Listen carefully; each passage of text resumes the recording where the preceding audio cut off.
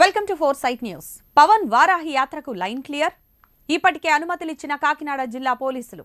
Route map పరిశీలించిన Amalapuram DSP Janasena అధినేత Pawan Kalyan Kakinada doctor BR Ambedkar Konaseema జిల్లాలో చేయనున్న వారాహి యాత్రకు వైసీపీ ప్రభుత్వం కావాలనే అడ్డంకులు సృష్టిస్తోందన్న విమర్శల నేపథ్యంలో కాస్త వెనక్కు తగ్గినట్లే కనిపిస్తోంది.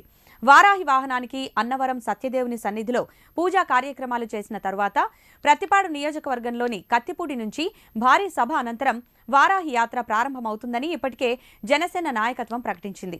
కాకినాడ జిల్లా నుంచి ముమ్మిడివరం నియోజకవర్గం ద్వారా డాక్టర్ బిఆర్ అంబేద్కర్ కోనసీమ జిల్లాలోకి వారాహి యాత్ర ఎంటర్ కానుంది.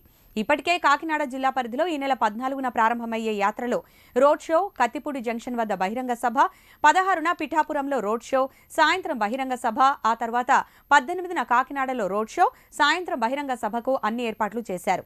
దీనిపై ఇప్పటికే కాకినాడ పోలీసులకు అనుమతుల కోసం దరఖాస్తు చేయగా పోలీసుల నుంచి అనుమతులు లభించాయి.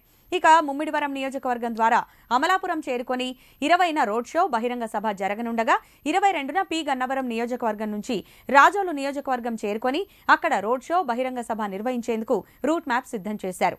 దీనిపై సోమవారం జిల్లా ఎస్పీ శ్రీధర్ను కలిసి అనుమతులు కోరనుండగా ఆదివారం అమలాపురం డీఎస్పీ అంబికా ప్రసాద్ అమలాపురం సీఐలు కలిసి జనసేన నాయకులతో కలిసి రూట్ మ్యాప్ను పరిశీలించారు. శాంతి భద్రతల నిర్వహణలో భాగంగా సెక్షన్ థర్టీ పోలీస్ యాక్ట్ విధించడం సర్వసాధారణమేనని ఎటువంటి అసత్య ప్రచారాలు నమ్మవద్దని అమలాపురం సబ్ డివిజన్ పరిధిలో శాంతి భద్రతలకు ఎటువంటి విఘాతం కలగకుండా గతంలో చోటు చేసుకున్న అనేక పరిణామాలను దృష్టిలో ఉంచుకుని సెక్షన్ థర్టీ పోలీస్ యాక్ట్ విధించడం జరిగిందని ఇది రొటీన్గా పోలీస్ డిపార్ట్మెంట్ చేసే పనే అని ఎటువంటి అసత్య ప్రచారాలు నమ్మవద్దని అమలాపురం డీఎస్పీ అంబికా ప్రసాద్ కోరారు.